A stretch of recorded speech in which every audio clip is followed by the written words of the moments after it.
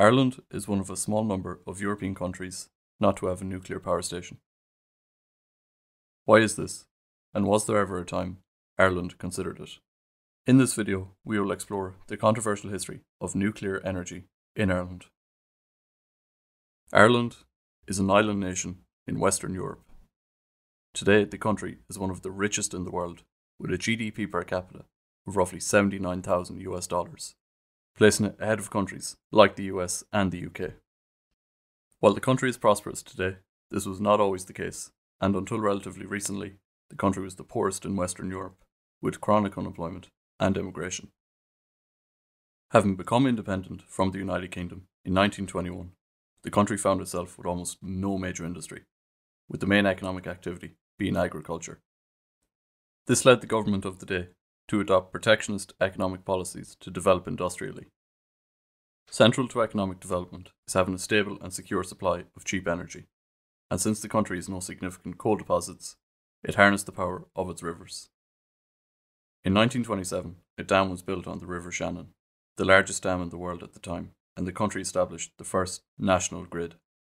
Then in the 60s, a policy of free trade and liberal economic reform were pursued, and the country began to rapidly industrialise, leading to a huge increase in demand for power.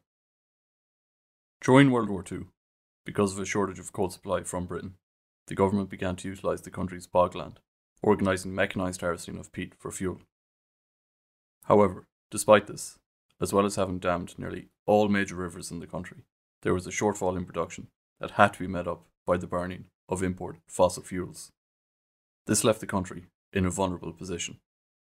The country's energy mix was far too dependent on imports, and by the early 70s, over 80% of the Irish energy mix was coming from imported fuels, leading to a volatile situation. This prompted the Irish government to begin sending engineers to Germany, Britain, and the US to study nuclear further and look into the possibility of setting up a nuclear reactor in Ireland. In 1971, the Nuclear Energy Board was set up as a consultative body made up of professionals in the field of nuclear science and industry to keep the government up to speed with trends in the nuclear industry and also to provide feasibility studies. Then, in 1973, the energy crisis happened. The energy crisis of 73 was when OPEC countries, such as Iraq and Saudi Arabia, upset over the West's perceived backing of Israel in the Yom Kippur War, put into effect an oil embargo, causing worldwide shortages of oil and a dramatic increase in oil price. Ireland, like most countries in Europe and North America, was badly impacted. This spurred on efforts and led to the ESB, the country's electricity provider, to formalise plans for a reactor in Ireland. So, why nuclear in the first place? Nuclear power has a number of advantages. For one, uranium, the material used in nuclear reactors, can be found in countries like Australia and Canada, which gave more security in supply. This was an attractive prospect at the time, given that most of the world's oil was coming from the Middle East, which had proven an unreliable source. Another factor at the time was that many experts were warning that hydrocarbons were fast running out. It also had the added benefit of not producing carbon dioxide emissions during generation, but most importantly, especially given the cost of oil at the time, it could provide cost effective electricity. This also meant the country would have to spend much less on imported fuel, helping with the nation's poor balance of payment situation. The proposed reactor would provide roughly 650 megawatts of power. For reference, a coal plant would produce 1,190 tons of CO2 a year to generate this much electricity. At the time, this would amount to nearly 25% of Irish electricity production, with the remaining 75% coming from peat, coal, oil, and hydroelectric power. The proposed reactor was a pressurized water reactor, which was based off the designs of the nuclear facility in Stade, Germany. A nuclear reactor generates electricity through a controlled, self sustaining nuclear reaction.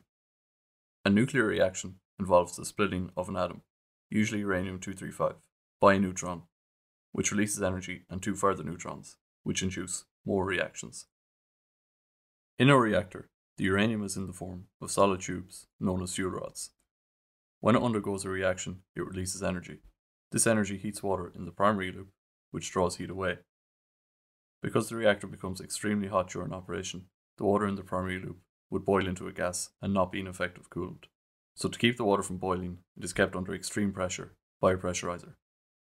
If the reactor gets too hot, control rods are inserted, which absorb neutrons, reducing reactivity. The heat from the primary loop heats up water in the secondary loop via a heat exchanger, turning it into steam, which powers a generator producing power. The plant was to be based in the southeast of the country, in a place called Carnsore Point in County Wexford, where the local geology suited the big construction project. The site offered other advantages as well, such as being close to the main electricity transmission lines and having a low population density. These plans were met with serious opposition. The proposal came at the height of the Cold War, where there was a real risk of nuclear exchange hanging over people daily. Nuclear power suffered from a bad public image. Opponents of the plant believed having nuclear power in the country would lead to an increase in cancer rates, run the risk of a catastrophic disaster, and potentially involve Ireland in nuclear weapons development. Massive protests were held in Dublin and around the country, including in Carnsore Point itself, where a festival protest was held, which saw 5,000 people gather one weekend, with protesters adopting the slogan, Get to the point.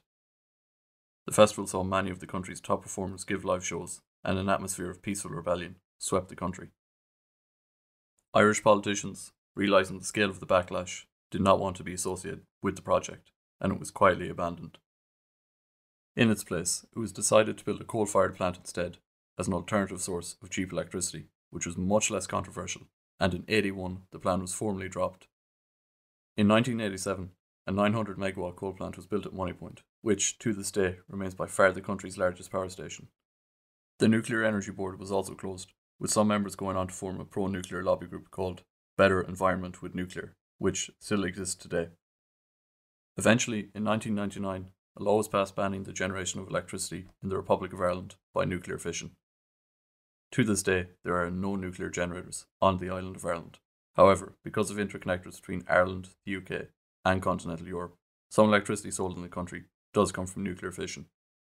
Ireland currently gets its energy from a combination of sources, including natural gas, coal, wind, solar, hydro, and oil, with peat soon to be phased out completely. While the country still burns a range of different fossil fuels, it is investing huge amounts in renewables and has set ambitious plans, along with the EU, to cut emissions by 2030, aiming to reduce 1990 level emissions by 40%. As was just mentioned, Ireland is hoping to drastically reduce its carbon emissions by 2030 by investing in a number of different technologies. Nuclear power could help in this fight. Do you think it's time Ireland reconsidered its long standing opposition, or do you think the risks outweigh the benefits? Let me know in the comments. If you liked the video, be sure to give a thumbs up. Thanks for watching.